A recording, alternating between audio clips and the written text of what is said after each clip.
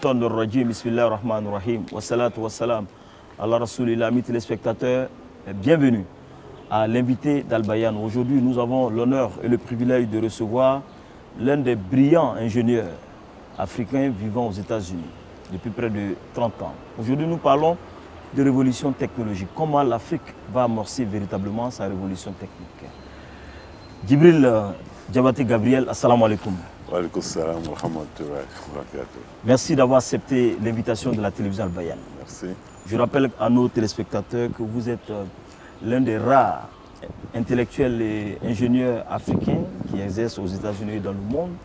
Et vous avez à votre actif de nombreuses publications et un ouvrage du nom de L'Afrique et développement, où sont passés nos intellectuels. Et vous avez travaillé dans beaucoup de projets au niveau des, ordinateurs, etc., etc. Mais de savoir que l'Afrique a une telle potentialité et un fils qui est de l'autre côté, n'est-ce pas une responsabilité d'Ibril Diabaté? Bon, je vous dis merci, M. Koïta, Elad Koïta.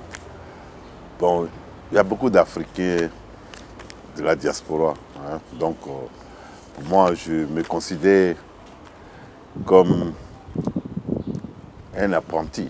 Parce que je me, je me, suis toujours dit que le jour où je vais prendre ma retraite, c'est ce jour où je vais considérer que j'ai un diplôme. Donc j'apprends et je continue d'apprendre. Donc voilà un peu. Alors je rappelle à nos téléspectateurs que vous êtes un MPI. Ouais. Ça veut dire que vous êtes dans le cercle très restreint d'ingénieurs qui donnent les certifications. C'est une lourde responsabilité. Bon, une lourde responsabilité par rapport au projet. Lorsque euh, un pays, quand on fait euh, un concept, alors ça dépend de quel pays vous avez, alors vous êtes obligé de certifier. Donc c'est une responsabilité et il faut d'abord connaître ce que vous devez certifier parce qu'en cas d'accident, vous êtes responsable. Donc euh, oui, euh, on se débrouille, on est toujours à l'école. Que votre modestie puisse en souffrir parce que vous revenez tout fraîchement des États-Unis, vous étiez récemment au Japon. Vous m'avez même dit en offre que vous étiez en Malaisie et, et récemment. Alors, on va parler de l'Afrique, notre continent, le plus beau continent du monde, mais malheureusement qui n'a pas encore amorcé son développement. Qu'est-ce qui coince au niveau de la révolution industrielle de l'Afrique? Bon, euh, merci. D'abord, il faut repartir en arrière. Mm -hmm. Et souvent, on vous parle de développement. Quand on vous parle de développement, et on se pose la question pourquoi l'Afrique est en retard? Bien sûr. Mais finalement, l'Africain a toujours commencé à construire par le toit avant mmh. d'aller à la fondation. Mmh. Donc du coup, et comment je peux euh, expliquer le développement africain, c'est comme un avion, c'est-à-dire avant que l'avion prenne son envol, il doit, euh, et, et, il doit rouler pendant 1000 mètres avant de voler. Mmh. Mais l'Afrique, après avoir fait ces 1000 mètres, au lieu que notre avion prenne l'envol, on s'est retrouvé dans un rond-point. Donc depuis 1960 jusqu'à aujourd'hui, on est dans le rond-point, puisqu'on n'a pas une GPS qui nous dit exactement quelle est la route du développement, donc on reste dans le rond-point. Donc voilà un peu le problème africain. Mais il y a un, il y a un penseur français qui disait, je cite, que l'Afrique est mal partie. En le disant, avait-il raison il avait raison parce que il avait raison et que l'Afrique est mal partie parce que euh, nous, nous, comme je disais tout à l'heure, euh, le développement c'est une logique. Donc il faut la logique, il faut aller par la logique. Mais lorsque on veut faire ce qu'on appelle reverse logique, ça veut dire que nous n'avons pas compris qu'est-ce que veut dire développement. C'est ça. Bon, le développement, euh, personnellement, je dis que le développement n'est qu'industriel. Parce que tous les pays développés au monde, ce n'est que des pays industrialisés. Il n'y a aucun pays qui est développé sans industrie. Et le premier pays développé au monde, c'est l'Angleterre. L'Angleterre s'est développée par la révolution industrielle. Industriel. La France, l'Allemagne et les États-Unis ont copié le modèle anglais, et puis ils sont développés. Le Japon, en 1929, les Toyota sont sortis du quoi? D'une voiture, une, une, une, Ford achetée par les Japonais et qui est devenue la Toyota aujourd'hui. Mm -hmm. Donc, l'Africain veut refaire la route. Mm -hmm. On ne refait pas une route qui marche. On veut, je prends un exemple. les Français te diront que c'est eux qui ont inventé l'avion. C'est ça. Les Américains te disent que c'est eux qui ont inventé l'avion. Mais bizarrement, les deux avions se ressemblent. Ils ont les mêmes technologies.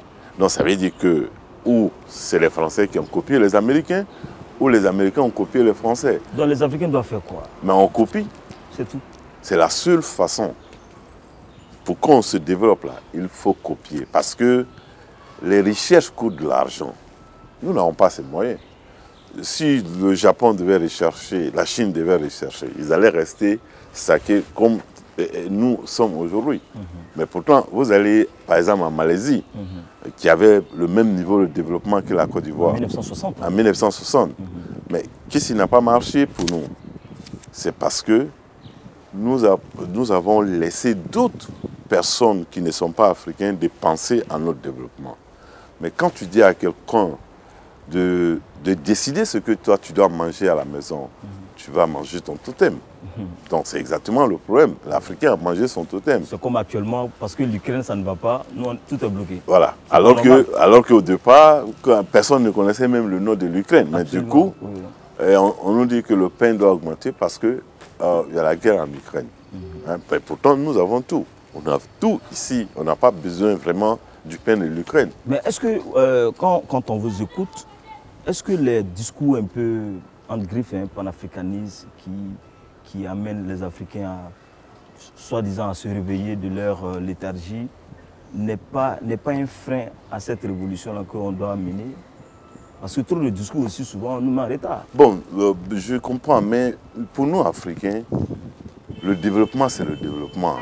Il faut aller, parce que, bon, on parle de la démocratie, on parle de ceci, on parle de cela, mais il n'y a pas de démocratie en Chine. La Chine s'est développée. Absolument. Il faut mettre les gens au travail. Il faut qu'ils travaillent.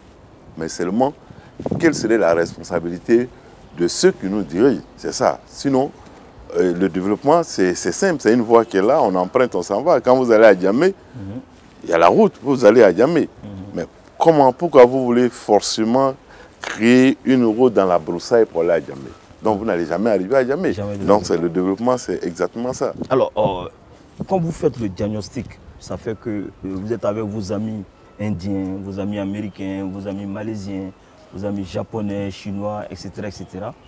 Quand de là vous faites le diagnostic, est-ce que notre beau continent, l'Afrique, va dans quelques années s'industrialiser? Est-ce que vous, êtes, euh, vous avez cette euh, conviction? Bon, il y a la volonté, mais le mécanisme à aller au développement n'y est pas. Mais la Pas volonté, encore. Pas encore. Et j'étais avec, euh, il y, a- il y a le ministre, euh, l'ancien ministre euh, japonais de, de choses, des affaires africaines, qui disait que je vais parler aux Africains, que nous, Japonais, on s'est développé à partir de rien. Donc, et en 1950, le Japon était le pays le plus endetté même auprès de la Banque mondiale, mais ils sont allés bien, ils se sont développés. Et comme je disais, l'Afrique, on est dans un... On, est, on dormait, ok? On dormait en 1960. Maintenant, on est dans un coma. C'est-à-dire, le so- dormait on dormait, le 1960. sommeil est devenu le coma. Donc voilà Mais pourquoi nous sommes... mais, euh, euh, Monsieur Djibril, mais n'oubliez pas que avant 1960, nous, étions, nous avons les mains scellées, qui est la colonisation. Ok. Je comprends. Même quand on a. Mais tous les pays qui sont développés, chacun avait le même problème. hein? Même si on est coincé, mais tout le monde ne peut pas être naïf. hein. Même si nous, on sait que nos gouvernants, souvent, ils sont coincés, nous-mêmes, on le sait. Mais il y a des élites qui peuvent vraiment se sortir de tout ça, de laisser la bureaucratie, se mettre sur les chantiers, travailler, développer, pour qu'on arrive au développement. Les Chinois sont passés par là. Pourquoi nous? Parce que le Chinois n'est pas plus intelligent que vous. Oui. Donc, le Japonais ni l'Américain, tout le monde, on est même chose. Mais quand vous dormez, moi je travaille. Mais c'est normal que je vais réussir. Donc ça veut dire que la clé du succès, c'est le travail. C'est le travail. Donc vous ne pensez pas, quand on regarde, quand je pose la question, qu'il n'y a même pas de prémices, ça veut dire que nous les Africains, on ne travaille pas assez. L'Africain veut avoir le paradis sans mourir. D'après un artiste très Voilà. connu en Côte d'Ivoire. Parce que on travaille pour, pour, pour, pour subir à tes besoins. Mais si tu ne travailles pas, Mais les gens demandent, il n'y a pas de travail, il n'y a pas ceci. voilà. Ça, ça veut dire quoi? Quelle est la différence entre travail et emploi? Merci. Même ceux même qui ont le travail, ils ne prennent pas leur travail au sérieux. Ça, c'est vérifié partout. Vous allez dans les bureaux même, les gens ne sont pas à leur travail. Hein? Ça, c'est un. Parce qu'on ne peut pas accuser euh, tout le monde, on ne peut pas accuser les gouvernants chaque fois que c'est eux. Non, nous-mêmes, on a une responsabilité dans notre État. Mais par contre, nous gouvernants, et, par exemple, quand vous parlez d'industrialisation, l'Afrique ne peut pas se développer comme l'Angleterre, ni les États-Unis. Mais l'Afrique commence les choses toujours, tout ce qui est nouveau, l'Afrique est dedans. Je prends l'exemple de, des nouvelles technologies. C'est ça. Aujourd'hui, les nouvelles technologies ont ses limites. Ça, c'est vrai. Quand on a vu les nouvelles technologies, on a vu déjà des ministères des nouvelles technologies. Alors que le monde, il n'y a que les anciennes technologies qui ont développé le monde hier, aujourd'hui et demain. Voilà. Les nouvelles technologies devaient être euh, plutôt euh, un booster pour nous envoyer au développement rapidement et minimiser les erreurs. Maintenant, quand on voit l'Asie, je prends l'exemple de, du Japon, Et, puis de la Corée, euh, de ces la, pays. La, Corée du Sud. La Corée du Sud. Ok. Avant l'arrivée des nouvelles technologies, bon, moi je peux en parler puisque quand j'ai rentré aux États-Unis, personne n'avait Internet. Personne.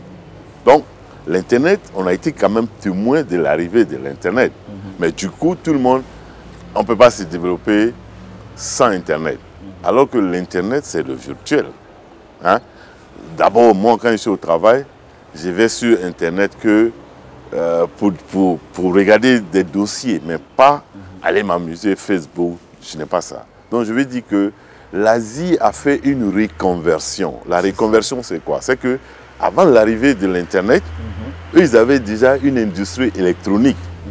Donc, quand l'Internet est arrivé, ils se sont dit, ah, mais puisque nos Walkman, euh, qui marchait sur des CD et que on a pris les logiciels maintenant pour faire les MP3. Mhm.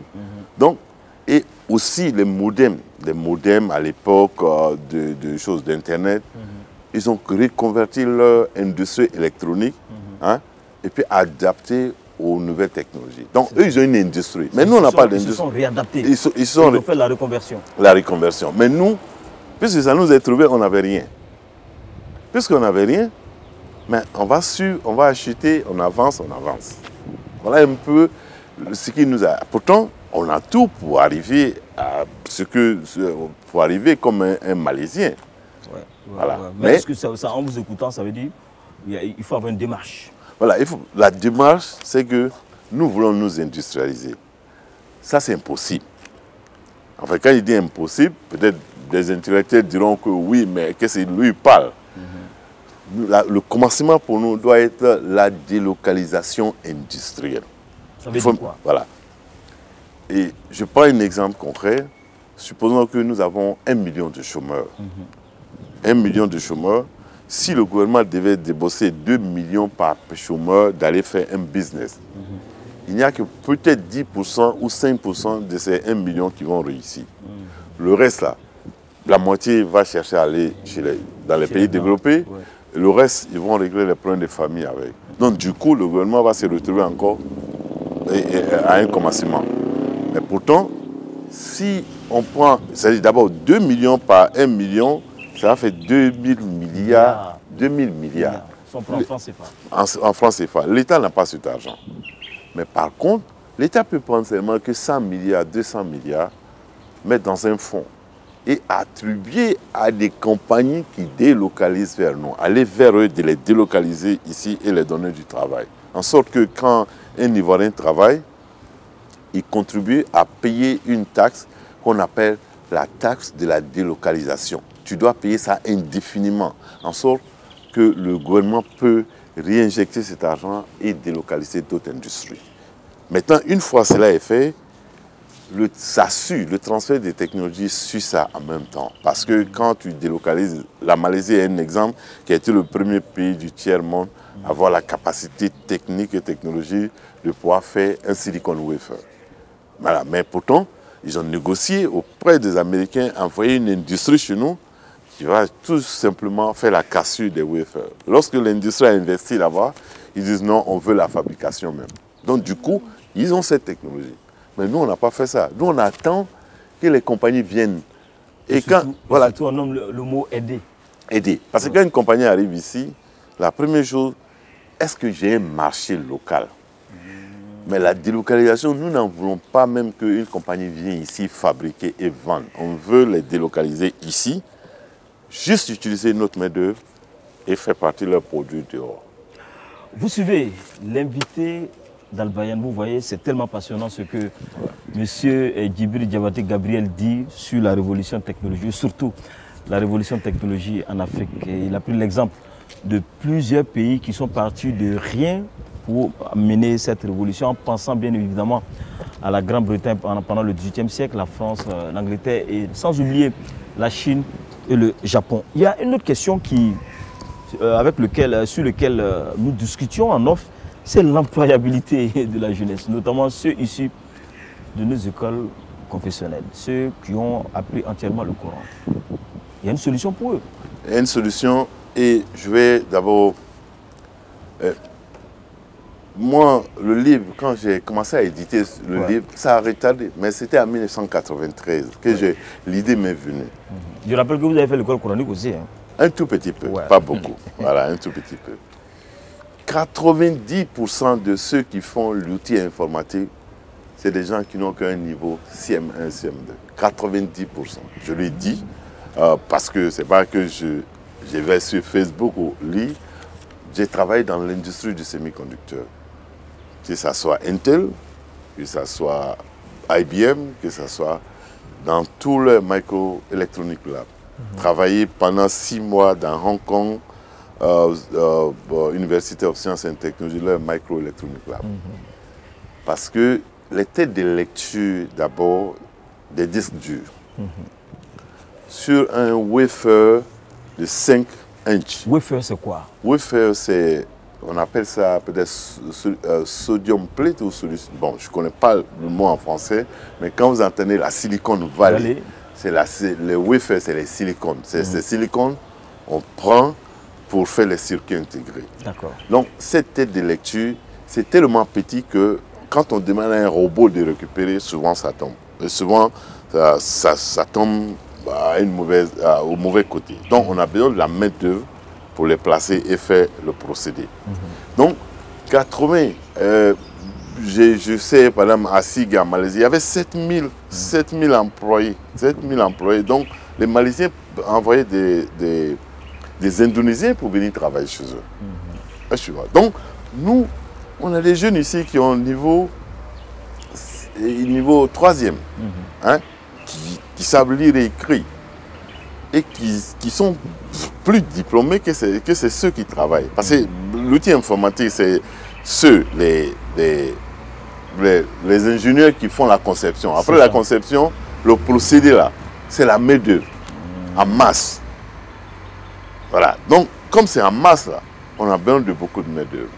Donc, voilà des industries hein, qu'il faut délocaliser. Mais pourquoi on délocalise Vous êtes chez vous à la maison. Si je vous, vous déplacez pour aller chez moi, mais qui doit payer le transport? C'est l'État. Voilà. Il faut que l'État prenne ce fonds, demander à des compagnies délocaliser chez nous, mais nous payons vos délocalisations de venir. Mais en contrepartie, on vous attribue 2 milliards. Je prends un exemple. On vous attribue 2 milliards pour délocaliser, mais en contrepartie, vous engagez 2 000 Ivoiriens. C'est comme si l'État avait prêté 1 million ou 2 millions à chaque Ivoirien qui travaillait. Mhm. Et ceux-là, ils vont contribuer à payer la taxe indéfiniment, puisqu'ils travaillent dans une zone délocalisée. Mhm. Et l'État rentre en possession de son argent. Mais si nous dormons ici en disant, bon, je ne vais pas dire, je vais parler en Afrique, en disant qu'on va se développer, on va s'industrialiser, on n'est même pas sur la voie du développement, on est sur la voie de la consommation industrielle. On devient des consommateurs, des éternels consommateurs. Mais, est-ce que aussi il faut, il faut, également des fous comme vous, en griffe, ça veut dire des rêveurs, également des, entrepreneurs qui peuvent amorcer également ce développement en donnant le ton. Parce que quand on regarde l'histoire également en Angleterre, il y a eu des grands inventeurs.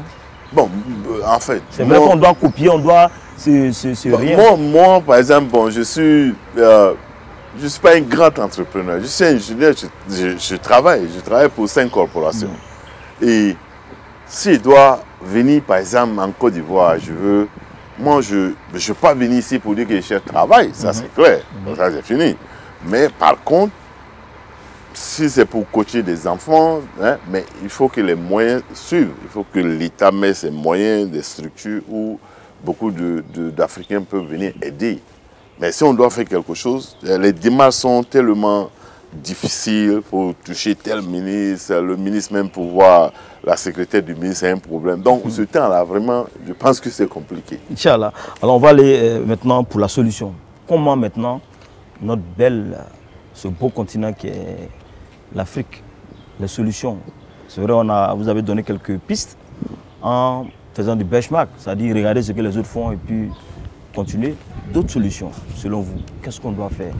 La première solution, quand on parle d'industrialisation, il faut l'électricité. Mhm. Voilà, il faut d'abord l'électricité.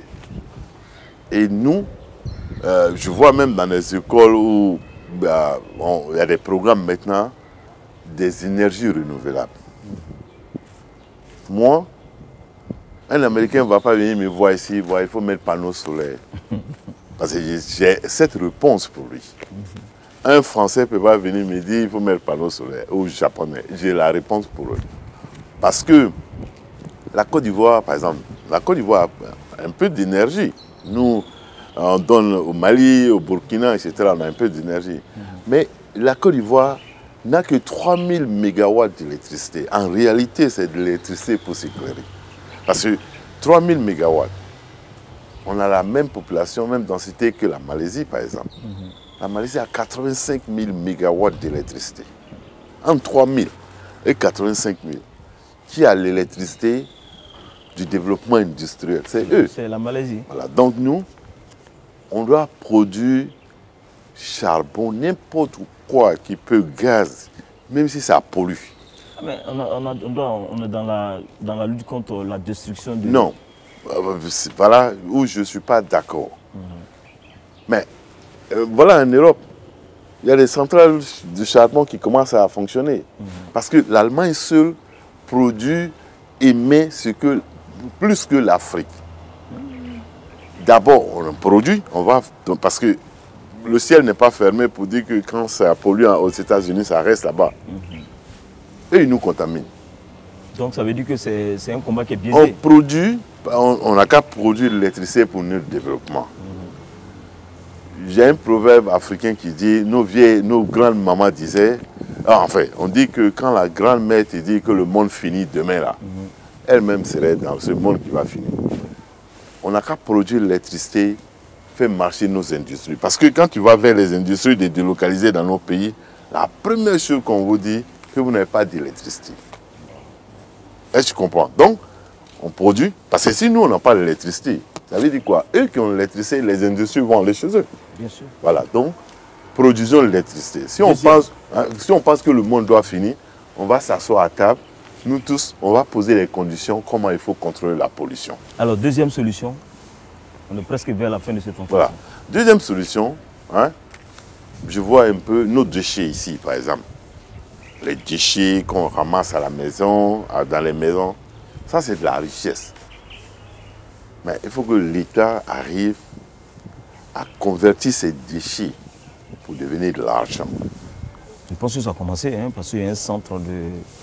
voilà, bon, si ça a commencé, c'est encore bon, mais je dis, ce n'est pas un centre seulement qui suffit pour la Côte d'Ivoire, ou bien pour... L'enfouissement, voilà. il faut, il faut traiter ces déchets, créer de l'emploi. Hein créer des engrais venant de ces déchets, alimenter des, centrales mhm. pour, pour, générer de l'électricité. Et comme ça, le travail, je pense que tant qu'on a l'électricité, les industries vont venir, on peut les délocaliser et le pays va s'en sortir.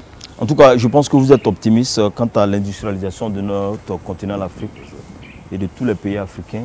C'est vrai que les choses tardent à venir, mais nous restons toujours confiants. Alors, nous sommes à la fin de cet entretien. Monsieur Djibril, je rappelle que vous êtes ivoiro-américain. Depuis près de 30 ans, vous vivez aux États-Unis. Vous êtes PI, euh, qui est un cercle fermé des grands ingénieurs aux États-Unis. Et vous travaillez dans... Suis petit. que votre modestie puisse en souffrir. Alors quel appel voulez-vous lancer à toute la jeunesse africaine? Voilà. Ce que je veux dire, par exemple, à nos frères, apprenez, ne dormez pas, lisez surtout. Comme je disais, un sage disait que lorsqu'on veut cacher quelque chose d'africain, il faut écrire tout simplement. Quand tu ça. écris, parce que l'Africain ne lit pas. Donc apprenez. C'est-à-dire tant que, quel que soit le métier qu'on a, il faut aimer son métier, il faut travailler, mettre du sérieux dedans. Tant que vous mettez du sérieux dedans, à la fin, vous allez trouver une porte de sortie. Inch'Allah. Ouais. Merci beaucoup. Et nous, notre religion, la première, pour ne pas dire le premier mot qui a été demandé au prophète Mohammed c'est Ekra, qui veut dire lit. Donc euh, cela convient avec vous, que ça. si nous lisons, nous allons réussir. Merci beaucoup. Euh, Monsieur Djibril Diabaté Gabriel, je pense que votre calendrier est hyper chargé. On aura l'occasion de vous recevoir dans d'autres émissions sur la télévision Al-Bayan. C'est la fin de cet entretien avec euh, Djibril euh, Diabaté Gabriel, qui est PI, qui vit depuis près de 30 ans aux États-Unis. On a parlé de la révolution industrielle.